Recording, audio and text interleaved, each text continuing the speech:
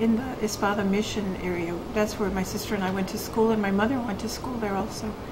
So um, Mission Espada holds a very, very dear place in my heart. I received all my sacraments there. so, and so did my sister.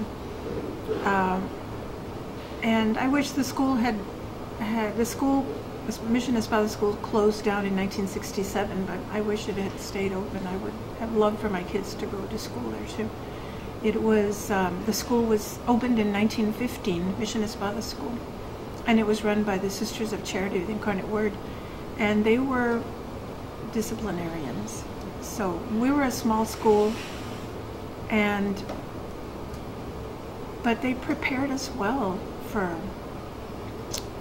uh, um, and when I was in the eighth grade, uh, all our class, which consisted of five girls and seven boys, but all of us girls wanted to go to Blessed Sacrament Academy, and we were nervous about about taking the test, the entrance exam, because we thought, here we are, this small little parish, you know, and and these girls from these big St. Leo's and all these other parishes are are going to be, you know, taking the test too. You know, we're not going to compete, you know on the other hand, we all passed with flying colors, and I attribute that to the sisters. You know, we, we were a very small school, 200 at the most at one time. I think at its highest level, um, it was 200 pupils.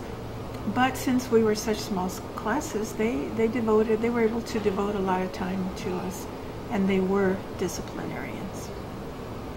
But those are very, very fond memories that I have um, of the sisters. I, to this day, I, I cannot um, run into a nun whom I know is a sister of the Incarnate Word and not greet her with praise be the Incarnate Word, sister.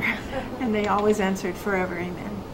I still do that because that's how we, we grew up. That's how we were taught. And my mother always, always uh, greeted uh, when I remember she would go and pay tuition at the school and the principal would come out, you know, out of, into her office, and my mother always greeted her with, "Praise be the incarnate Word, sister," and she answered, "Forever, Amen." Um, those are just good, good memories of Mission Espada, and I'm so glad that uh, this designation has come about. You know, we're we're very proud in the area